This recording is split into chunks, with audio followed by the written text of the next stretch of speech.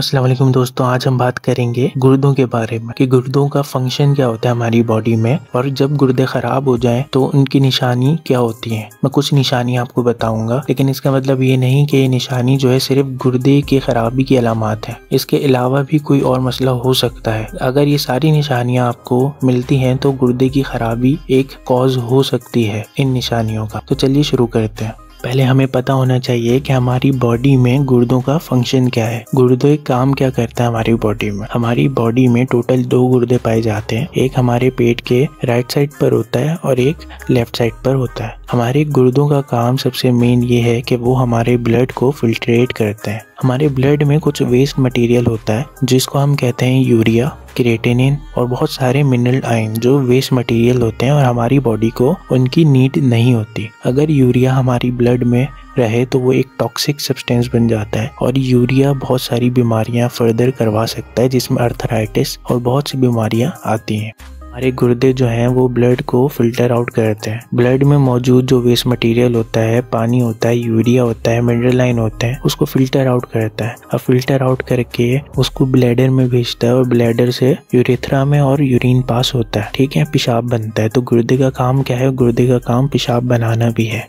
पेशाब बनाने के साथ साथ गुर्दे जो हैं, वो हमारे जिस्म के कुछ नमकियात, जैसे कि पोटेशियम, कैल्शियम, सोडियम हमारे जिसम के लिए ये ज़रूरी भी होता है और इसकी जब ज्यादती हो जाए इन आइंस की तो वो नुकसानदेह भी होता है। तो इसको बैलेंस रखना होता है हमारे जिसम में। तो बैलेंस जो है वो गुर्दे रखते हैं। गुर्दे हमारे जिसम में पोटेशियम, कैल्शियम, सोडियम जैसे मिनरल आइन की जो मकदार है वो बैलेंस रखते हैं। ना तो ज़्यादा हो जाए या ना तो ज़्यादा कम हो जाए। तो ये सारे जो है वो गुर्दे अगर ज़्यादा हो जाए तो पेशाब में निकाल देते हैं। अगर कम हो जाए तो डी एब्जॉर्ब कर लेते हैं। गुर्दे जो है पेशाब बनाने के साथ साथ हमारे मिनरल आइन जो है वो बॉडी में बैलेंस भी रखते हैं। उसके साथ साथ ये ब्लड प्रेशर को भी कंट्रोल में रखते हैं। ब्लड प्रेशर ज़्यादा ना हो जाए, ज़्यादा कम ना हो जाए, इनको भी बैलेंस रखते हैं। तो गुर्दे जो है, वो ब्लड प्रेशर को भी बैलेंस रखते हैं। अब हम आते हैं, अगर गुर्दे ख़राब हो जाए ना तो उसके निशानी हमें कैसे पता चल सकती है कि हमारी बॉडी में क्या क्या चेंजेस हो सकते हैं गुर्दे ख़राब होने पर?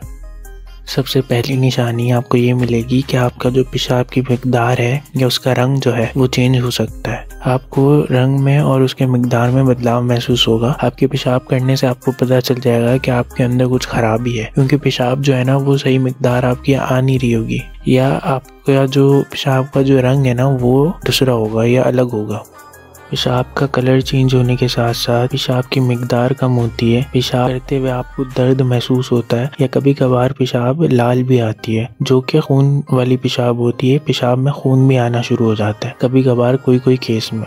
इसके साथ साथ आपको सुस्ती और थकान भी महसूस होती है। किडनी फेलियर के मरीज़ जो होते हैं ना, वो आप बहुत थकान महसूस करते हैं। थोड़ा सा काम करते ही ना, वो थक जाते हैं। उनसे ज़्यादा काम होता नहीं है। किडनी फेलियर के जो मरीज़ है ना, वो वेट लॉस का सामना कर सकते हैं। उनको वज़न में कमी महसूस होने लगती है। क्योंकि आपका जो पेशाब में ना एल्ब्यूमिन और मिनरल निकल रहे हैं। अब जब पेशाब में निकल रहे हैं वो तो जिसम में उनकी जो मकदार है, वो कम हो जाएगी। जिसकी वजह से आपका वेट लॉस या वज़न में कमी महसूस होती है मरीज़ को।